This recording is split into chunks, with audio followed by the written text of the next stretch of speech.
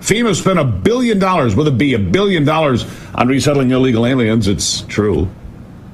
They're also spending $157 million on Lebanon.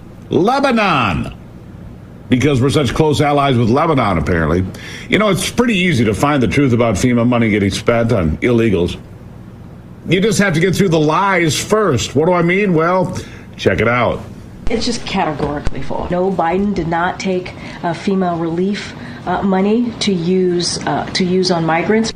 So FEMA regional administrators have been meeting with city officials on site to coordinate to coordinate available federal uh, support from FEMA and other uh, federal agencies. Funding is also available through FEMA's emergency food and shelter program to eligible Oh. local governments and non for, non-for-profit organizations Huh. upon request uh, to support humanitarian relief for migrants.